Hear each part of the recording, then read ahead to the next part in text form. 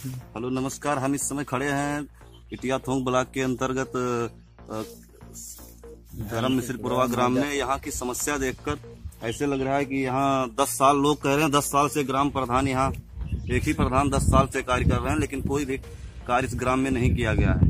जैसा कि आइए यहाँ के ग्रामीणों से हम बातचीत करते हैं। आपके ग्राम की क्या समस्या? आपका नाम क्या है? हमारा सोनू मिश्रा नाम हमारे ग्राम सभा में ना तो कोई रंगाली है ना कोई खड़ंजा है ना कोई व्यवस्था की है ना सुलभ ना कुछ न कुछ सरकारी योजना हमारे यहाँ तक नहीं पहुँच रही है।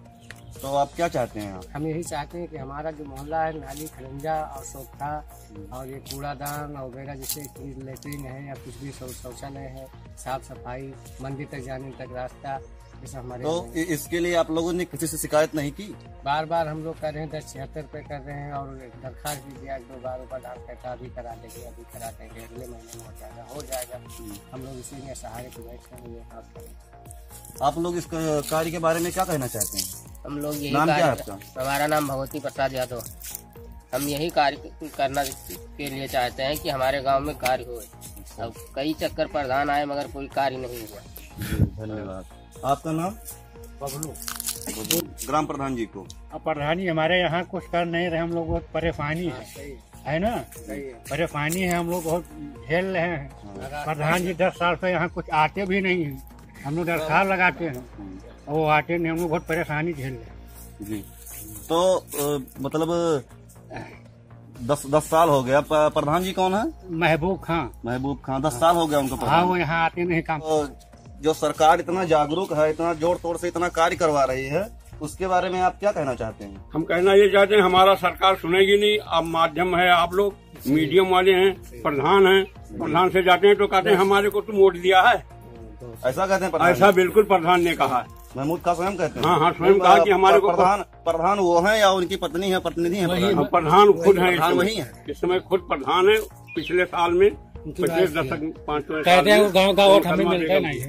तब तो कुछ नहीं हुआ। और विकास कार्यक्रम आया चला गया।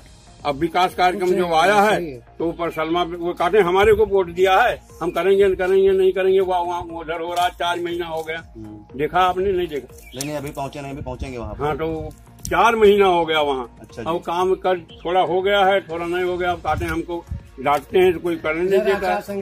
तो यहाँ जो वृद्धा पेंशन बनी हुई, बना है किसी का नहीं बना हुआ है किसी को नहीं ये अब अब हम अभी हाल में हमने पाए हैं हमने बनवाया अपने पैसे से। जी और अभी हाल में हमको मिल गया है ये बारह बारह हज़ार रुपया जो था हम्म। हमने एक अंदर बनवाया है ले, लेडीज़ वालों के लिए हम्म। जेंट्स को लिए बाहर बनवाया बराबर ये अपना रामपाल तिवारी तो जो ग्राम प्रधान है आपके यहाँ के जैसा कि लोग कह रहे हैं कि यहाँ कोई भी कार्य नहीं करवाया गया है तो उसके बारे में आप क्या कहना चाहते हैं? दस साल से है कुछ नहीं करवाया तो क्या करवाया नहीं तो इससे पहले इससे पहले कौन प्रधान था? वही था उसकी पत्नी। अच्छा तो तभी भी कोई कार्य नहीं करवाया कोई भी कार्य लगभग नहीं करवाया गया कह रहा। कि बस खाली हम सखुई के प्रधान हैं मिश्रपुरवा के अच्छा मिश्रपुरवा के प्रधान नहीं है।